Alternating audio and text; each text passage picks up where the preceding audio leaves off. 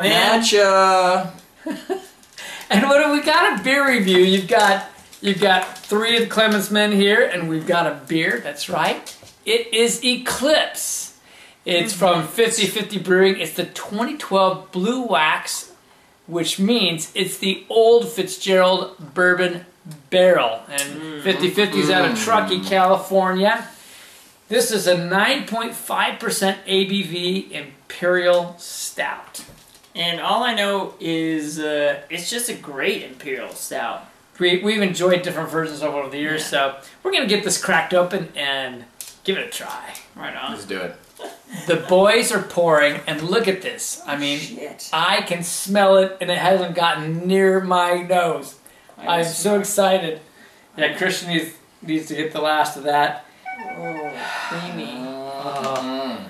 All right, so this is just like black goodness with a thin eh, tan head, a little darker than it's not a light tan, but um, Mr. Dramatic. You let's gotta get every drop. let's get a nose on it. I can smell it right Yeah, now. I, I can smell it before I got it to my face. Oh my god. Molasses, chocolate, Bourbon. Oh, yeah. bourbon. Huge caramel. Oh, hold on. Mm. Okay, there it is. I'm getting some dark fruits. You get dark fruits. Oh. I get some nice vanilla on it too. Yes. A little bit of a stir, man. Oh, That bourbon. that is complex. That is good. that Yeah, old like- Fitzgerald bourbon and the oakiness on it is wow. I almost want to pour it up my nose. It's that I good. just get dark, dried fruits like the ju- like prune, juicy prunes. Prunes. Yeah, Yeah. prunes. Mm. I almost get a little bit of date too. Yeah, a hint of date, a hint of fig, but mostly the prunes. Mostly prune. Oh, but the chocolate. I mean, the dark, and it's Yeah. a dark, rich chocolate. It's there might be a, a bit of a bittersweet Oh, yeah. scent It's a it's A like a hint of dark milk. bittersweet. and a dark. I mean, it's like I get I get a little bit of all of them, Get a little bit of that booziness. and little? then that molasses. the molasses hit early.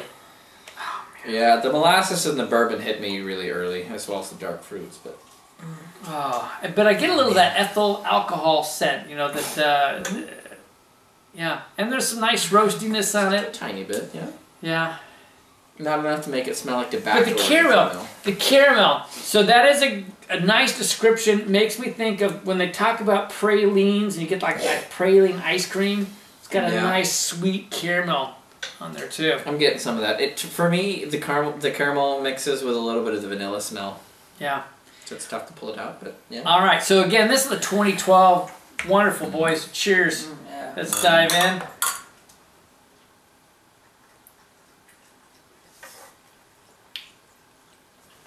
Oh, Oh, oh, chocolate immediately. oh man. yeah, the dark chocolate. hmm Oh yeah. Oh, what's that on the backside? Oh man. Okay, this is little bit of delicious. leather. Yeah, Ah, on the I backside. Sometimes that leather and tobacco come together, but I'm not getting any of the tobacco. This is like straight leathery. On the front, man, it seems like it's all about the bourbon and the dark chocolate. Yes. I get some like char, charry notes, some nice, Yeah. Rich campfire char like notes. Yeah. You still get a little bit of the dark fruits. You get a little bit of that Mhm. prune in there, almost towards a raisin maybe. Yeah.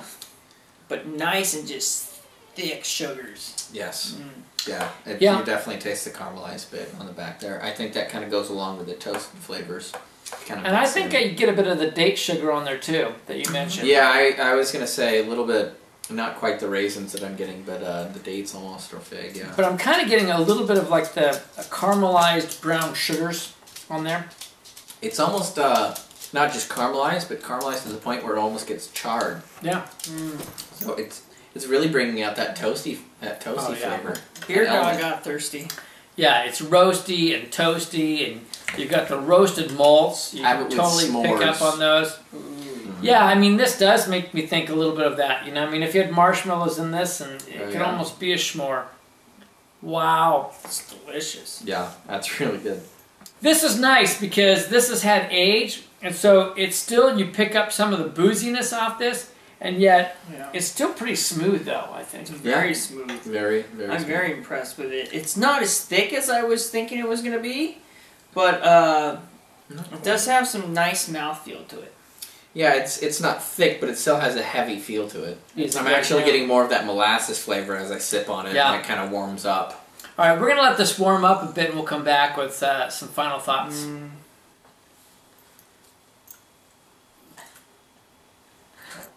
It's delicious.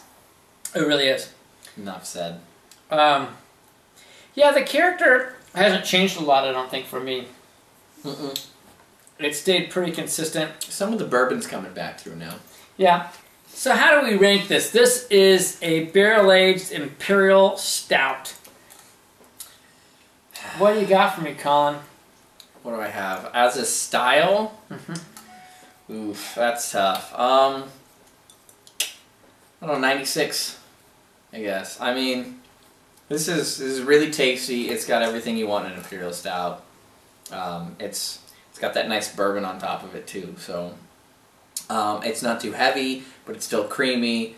It's got the toasted part. It's got the chocolate. I mean, it's yeah. As as far as an imperial stout goes, not my favorite, but definitely in top tier.